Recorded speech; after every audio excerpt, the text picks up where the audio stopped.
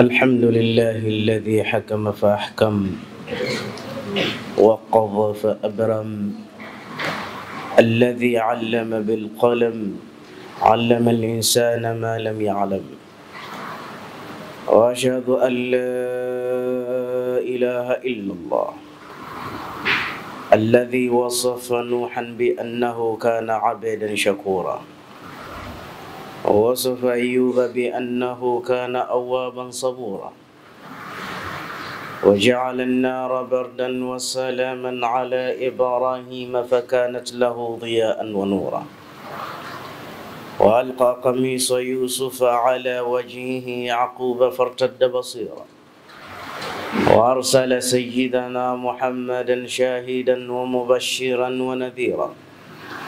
وداعيا إلى الحق بإذنه والسراجا منيرا وأشهد أن سيدنا وشيخنا وأستاذنا ومعلمنا محمد رسول الله الذي بعث بشرع كالشمس وضحاها وبقرآن كالقمر إذا تلاها.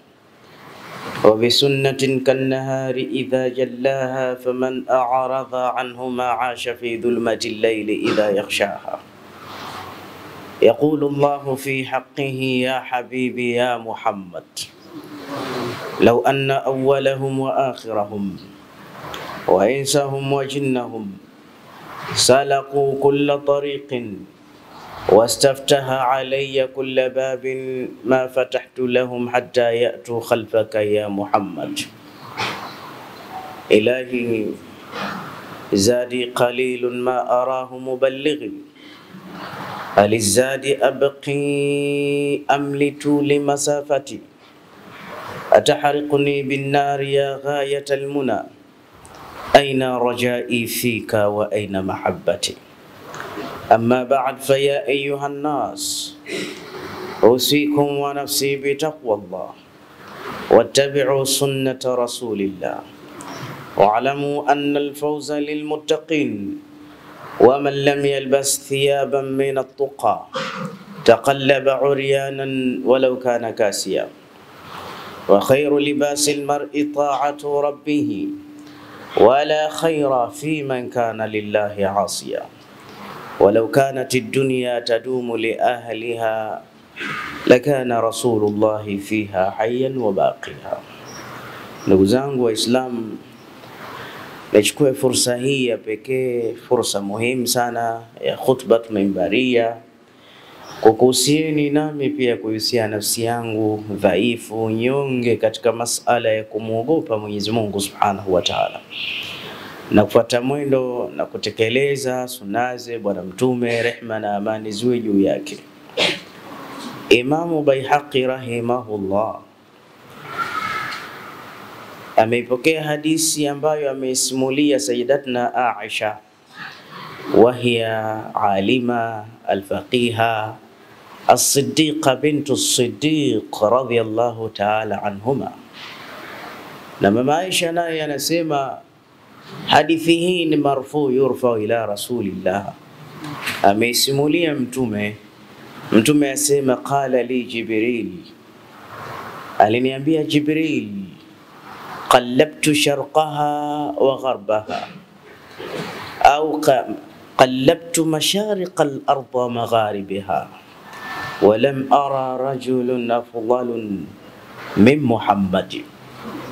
Anasema Jibril nimeigeuza na kuizunguka mashariki ya dunia na magharibi yake, lakini sijawahi kumwona kiumbe mtukufu sana ala latlaq kama Mtume Muhammad.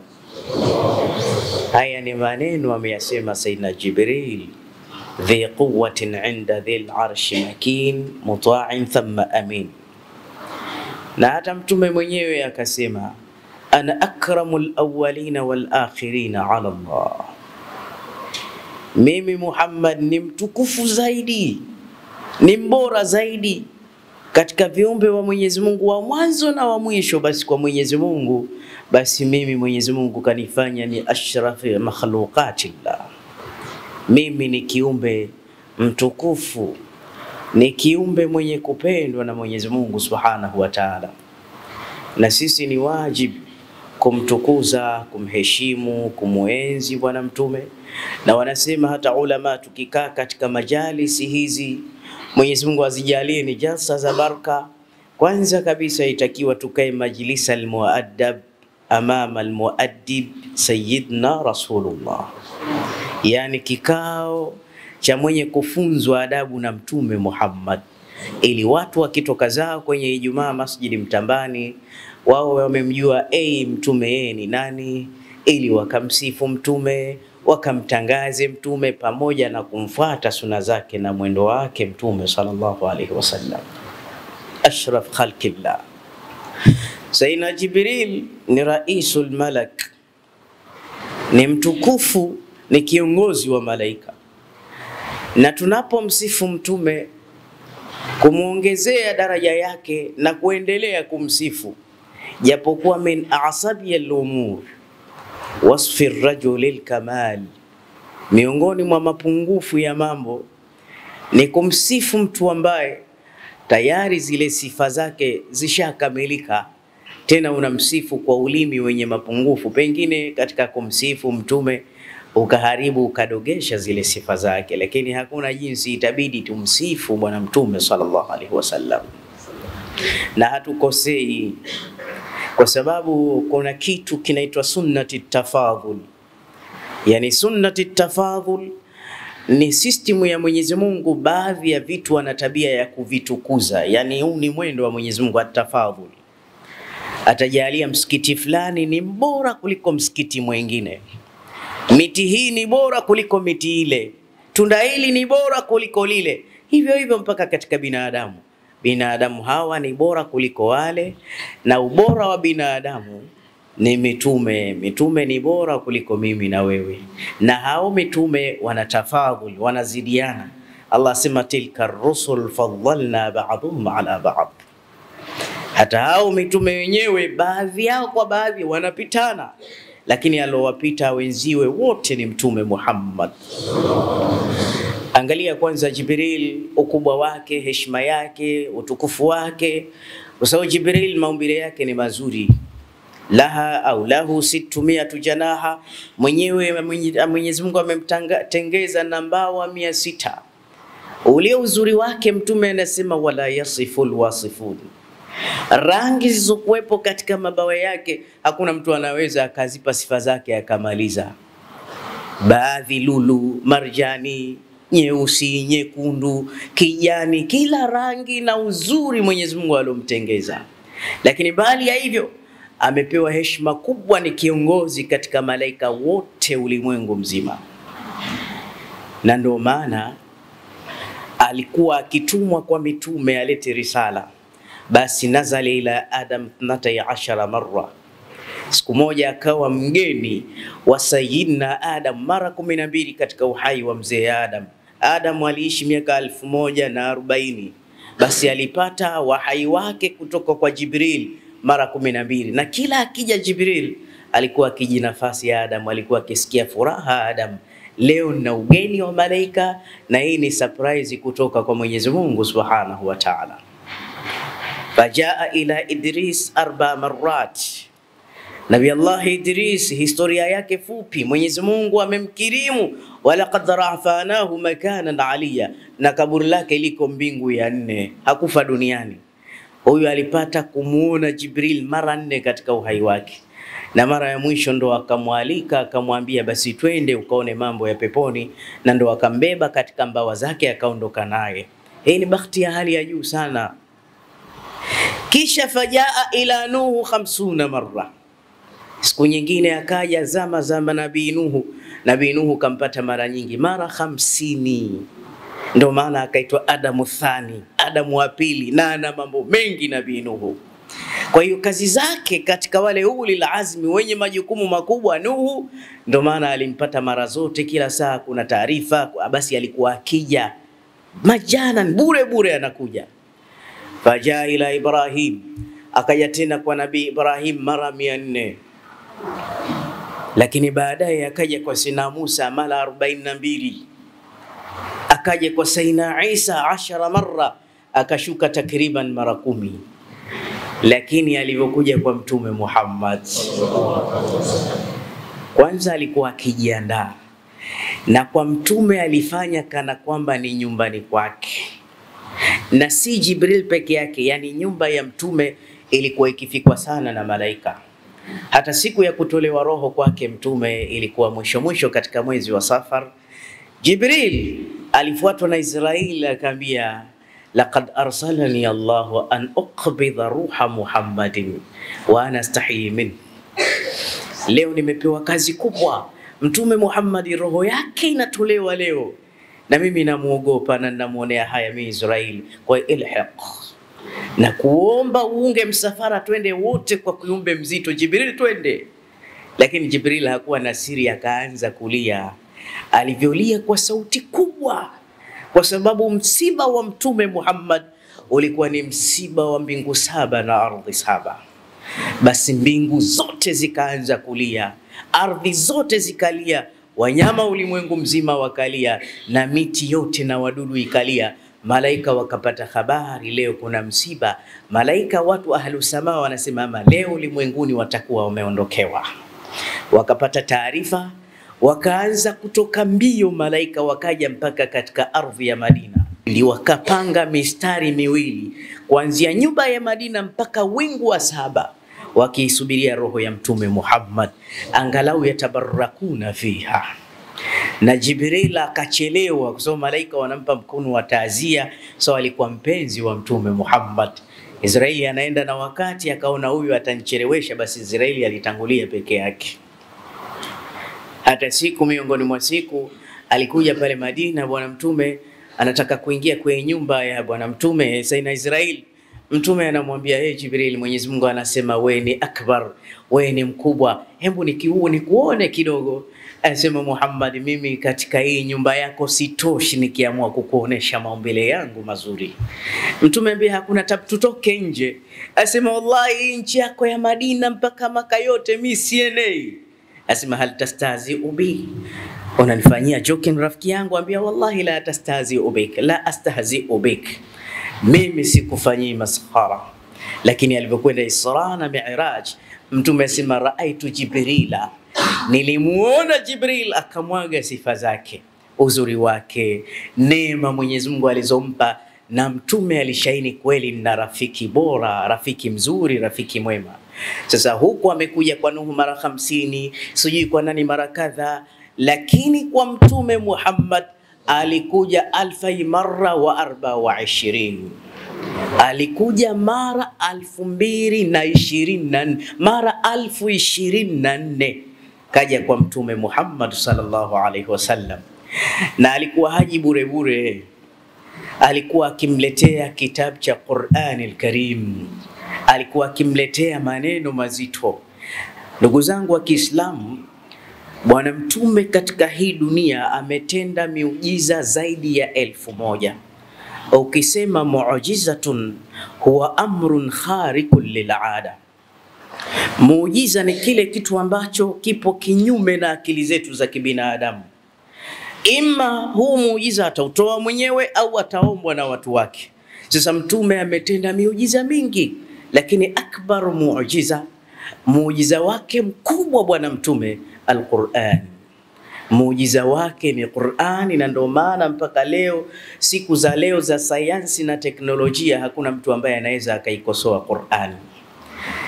Saudi madaktari kule waliiona Qurani ikisema Mwenyezi Mungu kuna mambo ya ghaibu matano anayajua peke yake, hakuna anayejua isipokuwa yeye. Indahu ilmu saa wa lghaif lghaith wa ya'lamu ma fil arham. Mwenyezi Mungu ndo anajua kiama lini. Haya mambo matano yapo katika suratul Luqman ya Mungu peke yake, na kuteremsha mvua akasema wa ya'lamu ma fil arham, na Mwenyezi Mungu ndo anajua yalokuwemo katika matumbo ya kina mama.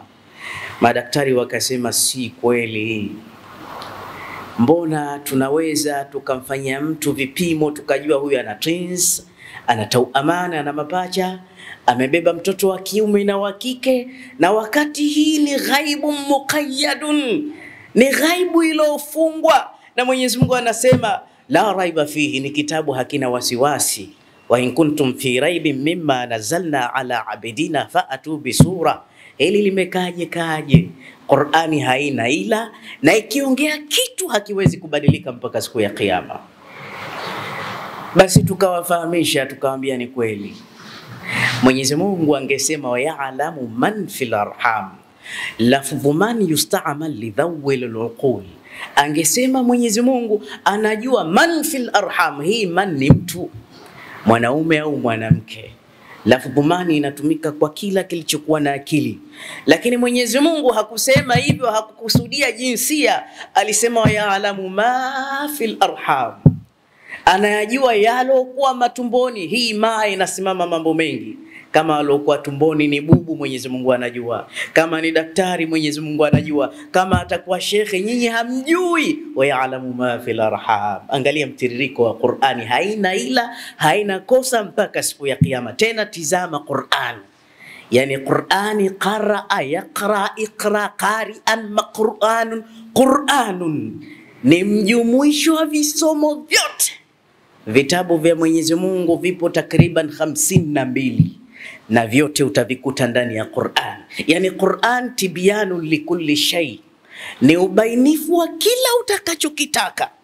Vitabu vingine vya Mwenyezi Mungu havikamiliki hukumu zake. Mfano Saina Ila Isa kitabu chake cha Injili alikuwa hawezi kutoa hukumu mpaka asome Taurati ya Musa lakini Qur'ani kila kitu kimo ndani yake, ndani ya Qur'ani.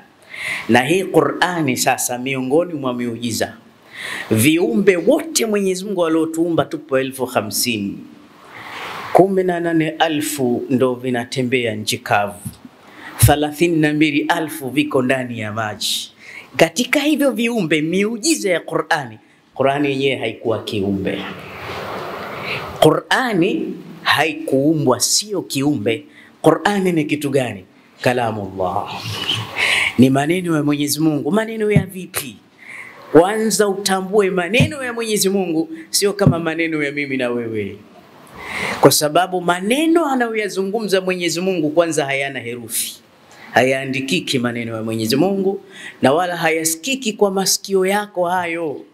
Hata Nabii Allahi Musa wakati anakwenda anakwenda Turi Saina miqatillah kwenda kuzungumza na Mwenyezi Mungu Subhanahu wa Ta'ala, hakuzungumza kwa mdomo huo na masikio hayo. Musa alikuwa kana kwamba amekufa tu, alikuwa akizungumza na moyo, na kila chini ya umalaika na nywele wa Nabii Allahi Musa alikuwa akiahisi maneno ya Mwenyezi Mungu Jalla Jalal. Na hata alipoomba Mwenyezi Mungu ni kuone, Mwenyezi Mungu alimshangaa Musa, utaka unione? Lan tarani sifai kuona Musa. Lakini unajua mambo ya Musa, Mwenyezi Mungu kidogo tu asema, basi tizama kwenye ule mlima, mimi niko na nuru kuliani na kushotoni, na nuru yangu ni nzito, dunia haiwezi. Nitateremsha nuru ndogo, ujue tukufu wangu, ukiweza kuiona saufa tarani, insha Allah utaniona Musa. Hal mustaid, upo tayari? Sema mustaidin.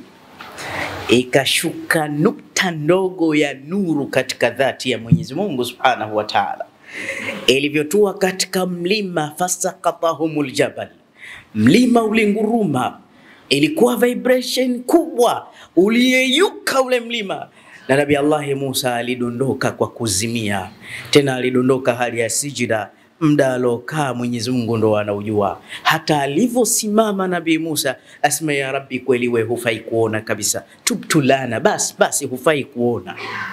Sasa hii Qur'ani wakati inashushwa, kwa sababu ni maneno mazito, ni kuambieni tu hii Qur'ani hii hata Jibril kuitahamal kuibeba peke yake hawezi. Hii Qur'ani inashushwa lauhi mahfudh katika mwezi wa Ramadhani, jumla jamala kwanza ikachujwa. Mnasoma soma tu Qur'ani, mnaijua Qur'ani. Masahaba alikuwa akisoma Qur'ani kama upepo unavuma, basi ulikuwa ukisimama, kwa sababu alikuwa akiisoma vyema inavyotakiwa Qur'ani. Ikachujwa, ikaonekana bado ikienda hivi hivi dunia inaweza ikaungua. ikachujwa ikaonekana kidogo hapa dunia inaweza isiwe ile ile asili iliyotoka kule, dunia haiwezi hii. Kisha baada ya kushushwa lauhi mahfudh ikaonekana hii Qur'ani vivyo hivyo haiwezi kushushwa labda kwenye miti, lazima apatikane kiumbe ambaye ana nguvu kuliko majini, kuliko binadamu, kuliko malaika, kiumbe ambaye lau anzalna hadha alqurana ala jabalin la raaitahu khashian mutasaddian min khashyati llah, hata ingeshushwa kwenye milima, milima ingenyenyekea, isingeweza kuitahamal Quran.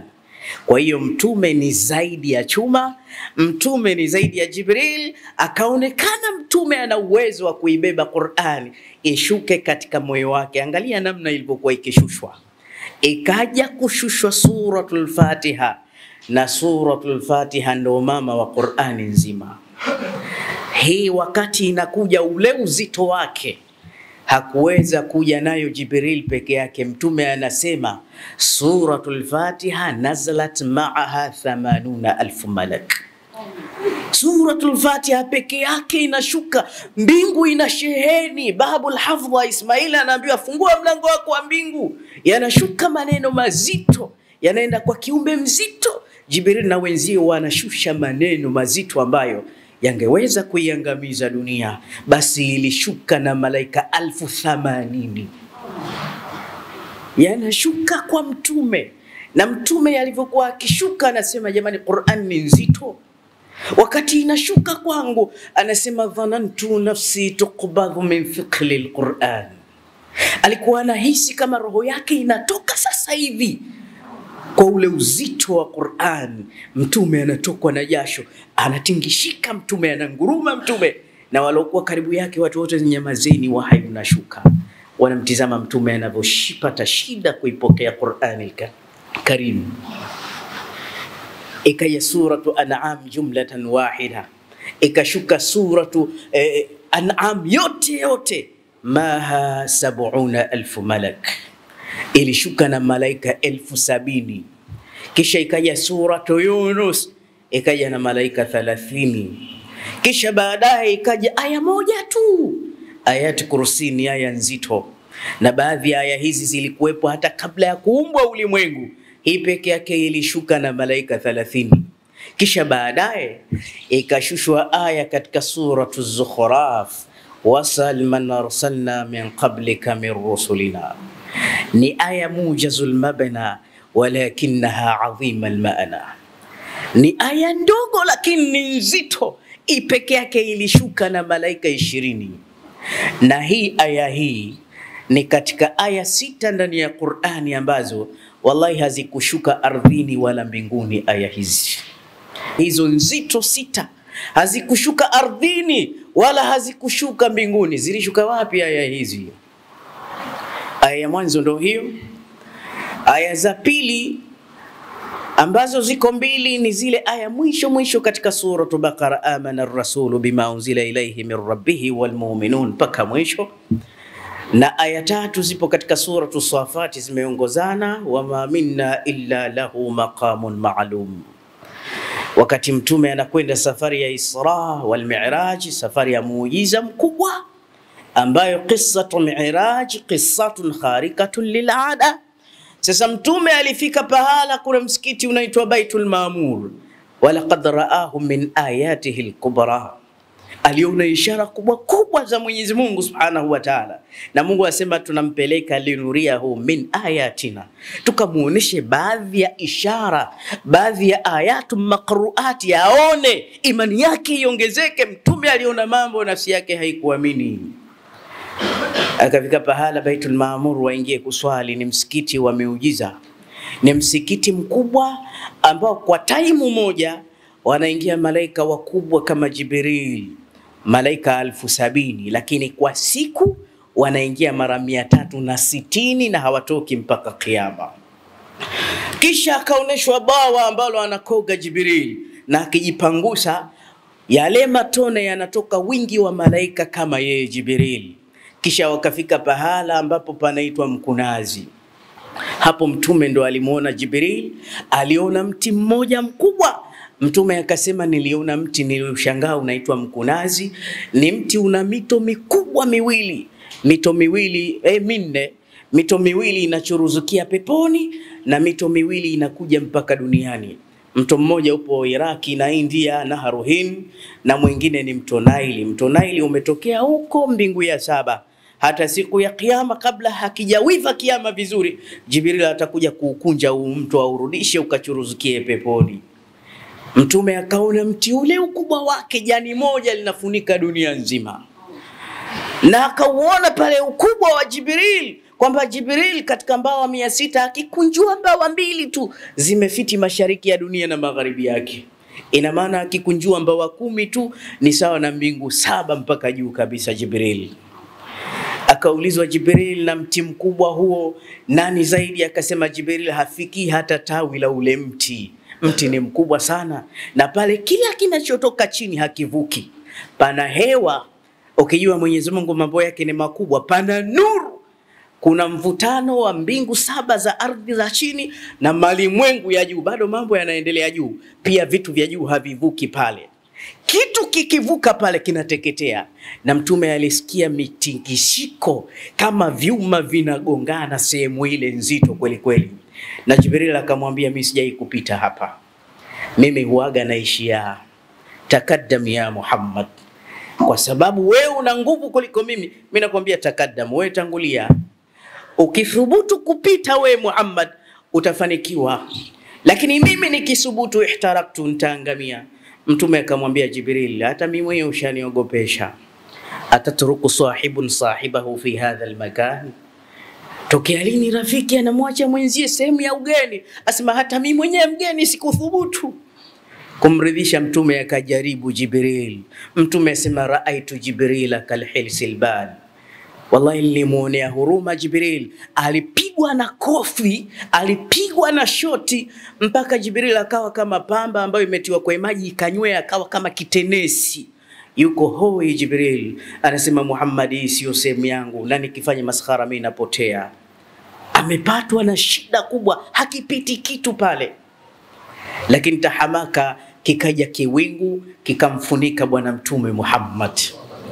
Mtume akaanza kusafiri, ndo Ahmad Shauki asema hatta balagta samaan la yutalu laha ala janahin wala yukhta ala kadamin, peke yako ulifika pahala ambapo la yutwalu laha ala janahin, ule ubawa wa Jibril ulishindwa, wala hakuna anayeweza kutembea peke yako. Na mtume alipopita pale aya hizi sita zikaanza kushuka kwake yeye, wama minna illa lahu maqamun maalum. Alifika hapo Mtume Muhammad na akaendelea mpaka katika kursi, mpaka katika arshi, akakutana na hamalatul arshi, mpaka akafikia hatua akakutana habibun wa mahabubun fama tamma thalithun, akakutana na mola wake Mtume Muhammad. Zikashuka aya hizi Mtume na ndio maana kila saa alikuwa ataka kuzirudia asisahau, akaambiwa sanuqriuka fala tansa, hautosahau Muhammadi. Zikiingia mtume hajawahi kusahau Qur'ani maisha yake yote. Huyu ni mtume wa Mwenyezi Mungu.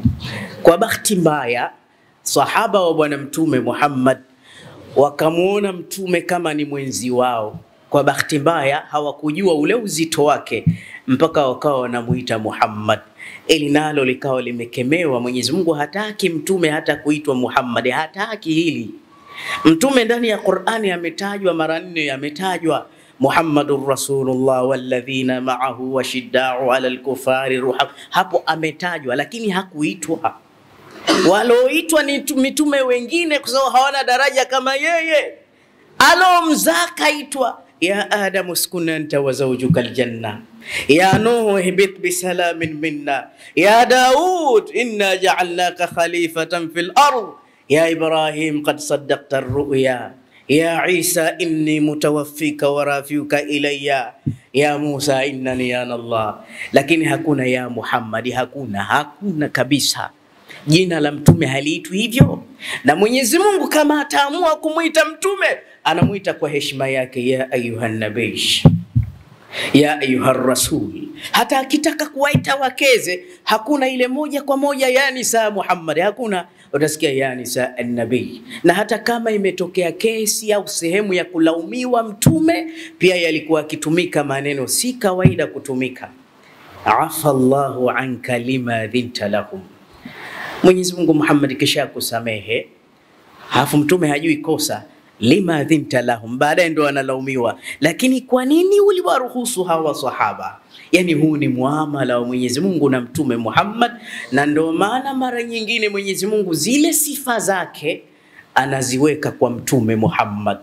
Kad jaakum rasulun min anfusikum azizun alayhi ma anittum harisun alaykum bilmuminina raufur rahim, wala hatii taaliki bilmuminina abdur rauf, hakuna na ndio maana Jibril siku hiyo akamuuliza Mtume, ataarifu maana hadhihi alaya, maana ya aya hii unaijua maana yake ipi? warafana laka dhikraka, unaijua maana yake? Asema, hebu niambie, ambia maana yake, idha dhukirtu dhukir, idha dhukirta dhukirtu mai, maana yake ukitajwa wewe Muhammad lazima utajwe na Mwenyezi Mungu, au kwa maana nyingine ukimtaja mtume Mwenyezi Mungu kasharidhika, umemtaja yeye Inna alladhina yubayi'unaka innama yubayi'una Allah yadullahi fawqa aydihim. Ukimpa mkono mtume moja kwa moja ujue umempa mkono Mwenyezi Mungu Subhanahu wa Ta'ala. Na ndio maana hata katika karama zake hakuna aliofanya katika mitume hata mmoja, haikuwahi kutokea. Siku moja bwana mtume amelala katika mapaja ya Saina Ali. Wakati amelala bwana mtume sallallahu alaihi wasallam, wahai ukashuka basi mpaka ikawa inaingia magharibi, anaamka baadaye, anamwambia Ali, hal sallaita al-asr, ushasalla asri? Ambia bado sijaswali. Mtaswali vipi? Nilikuwa naona wahi unashuka, nikaona ni uheshimu wahi ya Rasulullah, sikuswali. Wallahi, mtume alisimama akasema, ashamsu anta maamur wa ana maamur, wewe jua ni maamur na mimi ni maamur. Ewe Mwenyezi Mungu, huyu ameacha kuswali kwa kuniheshimu mimi na kukuheshimu wewe, naomba urudishe urudishe jua apate kuswali salatul asri. Wallahi, kwa mara ya mwanzo dunia jua likarudi, masaa yakarudi, saa za watu hazijarudi, saa zote zilipotea dunia nzima kwa heshima ya Bwana Mtume Muhammad. Watu wakarudisha saa nyuma. Nabii gani wapi ashawahi kuyatenda hayo? Hata lile tukio la Isra la Miraj alisema yauma arbia, Jumatano msafara unaingia, ukachelewa msafara, jua lilisimamishwa, akili zetu zilisimamishwa mpaka msafara uingie, kwa sababu ya heshima ya mtume tu, ili mtume aridhike, asikosolewe, kwa sababu kama mlivyokuja mtambani hapa, kila mmoja atafuta radhi za Mola wake, basi Mwenyezi Mungu naye huenda mbio. Anataka kumridhisha mtume, anamwambia wala saufa yutika rabbuka fatarda qad nara taqalluba wajhika fi samaa falanwalliyannaka qiblatan tardaha, na aya nyingine la'allaka tarda, unatizama utafuta kibla, mimi nitakupa kibla, alimradi utaridhika nafsi yako. Muhammad ni kiumbe mtukufu. Basi jua lilisimamishwa, muda uliosimamishwa jua na akili zetu, Mwenyezi Mungu ndo anajua peke yake. Watu wa Maka wanachekesha kweli kweli na wana vituko, eti wanamwambia Mtume, angalia katika suratul Qamar. Sura hii ilishuka kwa sababu hiyo, iqtarabati saa wa inshaqa alqamar. Wanamwambia Mtume, tunataka ule mwezi, kama we ni mtume kweli, hebu uite uje. Bwana Mtume anamuita Jibril, njoo Jibril wananiambia eti nifanye hivi, hal yumkin, hili jambo linawezekana? Jibril alishangaa akaambia Muhammad, madhat alfi ama qabla ma khuliqa Adam, kabla ya kuumbwa babako Adamu, miaka alfu mbili iliyopita Mwenyezi Mungu alizungumza na mwezi akauambia, huu mwezi ukusikilize, ukutwi kwa chochote utakachokitaka baada ya kuja wewe ulimwenguni. Kwa hiyo Mwenyezi Mungu miaka alfu mbili ashatoa amri kwa mwezi, uite mwezi. Mtume anambia taali ya kamar, na mwezi ulishuka mpaka katika uso wa mtume ukapasuka vipande viwili, kipande kikakaa kulia kisema ashhadu an la ilaha illa Allah, na kipande cha pili ikasema wa ashhadu anna muhammadur rasulullah. Ni ashawahi kuyafanya hayo, ndugu zangu wa Kiislamu. Katika vita vya Uhud ni vita vibaya. Sahaba Abu Katada alijeruhiwa mpaka jicho lake likapasuka, likawa limening'inia ngozi tu. Watu wakasema basi tuikate hii ngozi, hakuna ubaya. Akasema wailakum, jamani, hebu msilikate kwanza, twendeni kwanza nimuoneshe kesi hii Bwana Mtume Muhammad. Mtume akalikamata lile jicho la Abu Katada akalirudisha, akalirudisha. Baada ya kulirudisha, kukawa hakuna maumivu, hakuna alama ya kupasuliwa. Abu Katada analia kwa sauti, anasema ya Rasulullah, namuomba Mungu hasa na ili jicho langu la pili nalo lipatwe na ajali, lipigwe ling'oke ili ulirudishe. Kwa nini? Asema kwa sababu hili ulolirudisha linaona kweli kweli kuliko hili la zamani. Kwa hiyo macho yake yamekuwa na tofauti. Daktari gani wapi anaweza akafanya hivi? fahuwa bashar walaisa kabashar, ni mtu kama mimi na wewe, lakini kwa karama zake hajawa kama mimi na wewe. Ndugu zangu wa Kiislamu, na kuombeni sana tukithirishe kumswalia Bwana Mtume Muhammad. Kwa ruhusa zenu, wakati umekwenda, lakini nikupe fadhila ya kumswalia Mtume kwa dakika moja tu.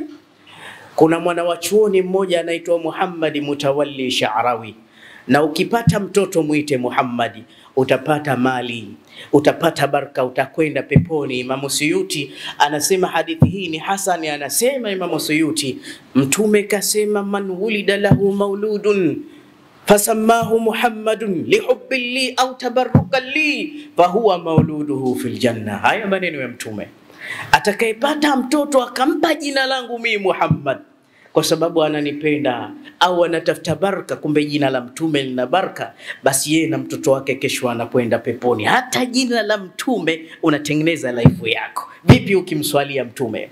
Na ndio maana kuna ibada ibada zote Mungu hafanyi. Mungu haendi Maka kuswali, Mungu hahiji, Mungu hafanyi chochote, lakini kuna ibada Mwenyezi Mungu anaifanya, ibada ya kumswalia mtume Muhammad.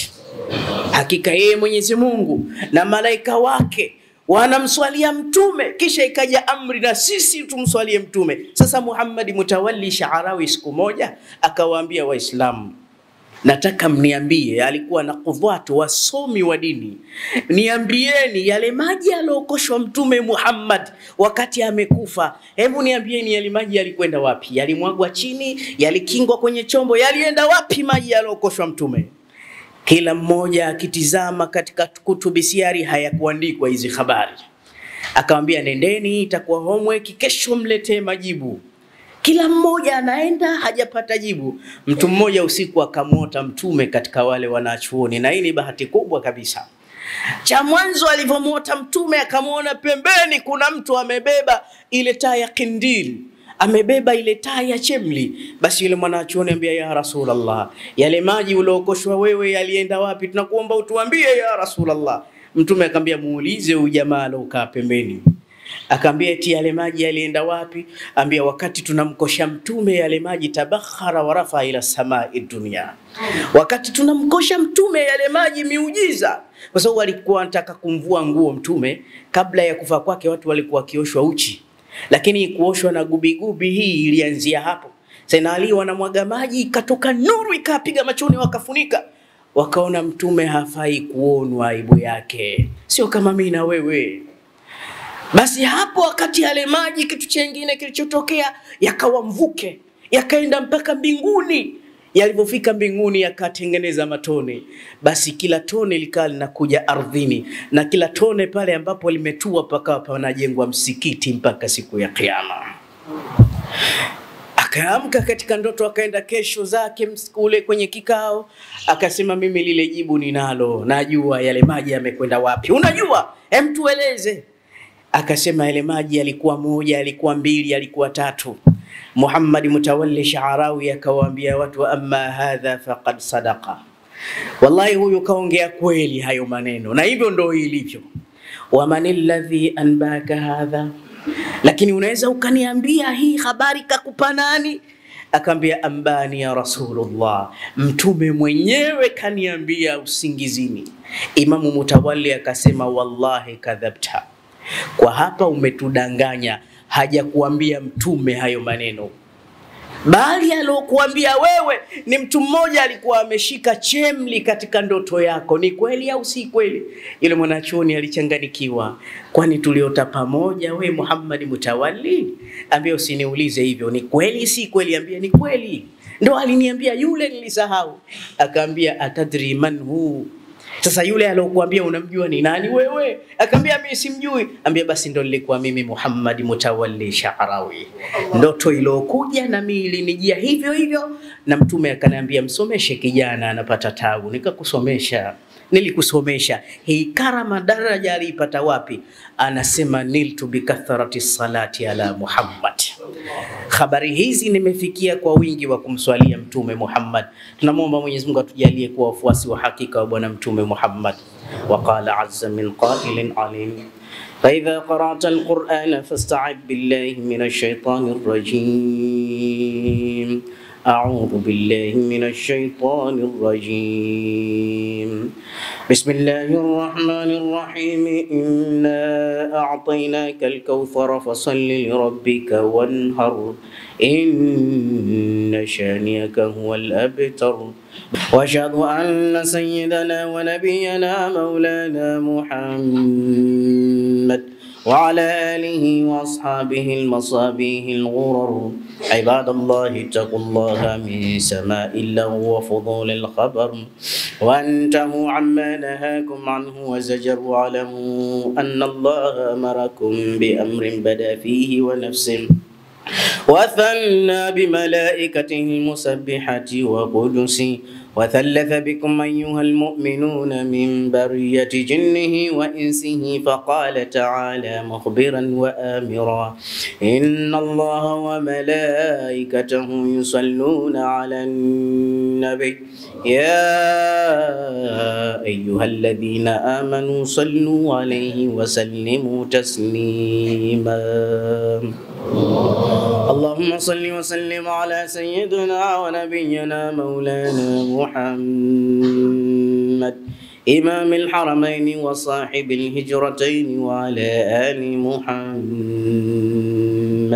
فيا أيها المشتاقون إلى رؤيا جماله صلوا عليه وسلموا تسليما. اللهم صل وسلم على سيدنا ونبينا مولانا محمد. نور القلب وقرة العين وعلى آل محمد. فيا أيها الراجون منه شفاعة صلوا عليه وسلموا تسليما.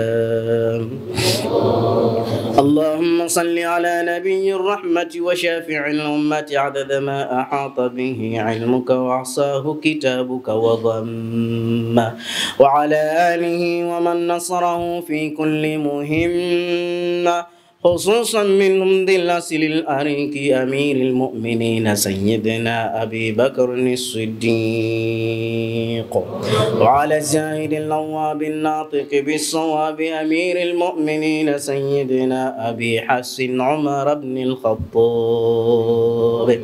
ولا جميع القرآن استحية منهم الملائكة الرحمة مهي الليالي بتلاوة الكتاب. أمير المؤمنين سيدنا عثمان بن عفان. وعلى أسد الله غالب إمام المشارق والمغارب أمير المؤمنين سيدنا علي بن أبي طالب. وعلى ولديه السيدين أبي محمد الحسن وأبي عبد الله الحسين. وعلى أمهما الزهراء البتول وعلى عميه المعظم العظيمين عند الله والناس المطهرين من الدنس والأرجاس. أبي أمارة الحمزة وأبي الفضل العباس وعلى بقية العشرة المبشرة الذين بايعوه تحت الشجرة طلحة الفياس والحواري الزبير وسعد الهدى وسعيد الخير وعبد الرحمن الزكي شاكر وأبي عبيدة الزاهد الزاهر رضوان الله تعالى عليهم أجمعين إلى يوم الدين. اللهم أعز الإسلام والمسلمين وأذل الشرك والمشركين وانصر جيوش المسلمين ونكس أعداءك أعداء الدين واختم لنا بخير منك يا أرحم الراحمين اللهم اغفر للمؤمنين والمؤمنات والمسلمين والمسلمات الأحياء منهم والأموات ربنا آتنا في الدنيا حسنة وفي الآخرة حسنة وقنا عذاب النار. برحمتك يا أرحم الراحمين. عباد الله إن الله يأمركم بالعدل والإحسان وإيتاء ذي القربى وينهى عن الفحشاء والمنكر والبغي يعظكم لعلكم تذكرون. فاذكروا الله العظيم الجليل يذكركم واشكروه على نعمه يزدكم وصلوه من فضله يعطيكم ولذكر الله أعز وجل وأكبر.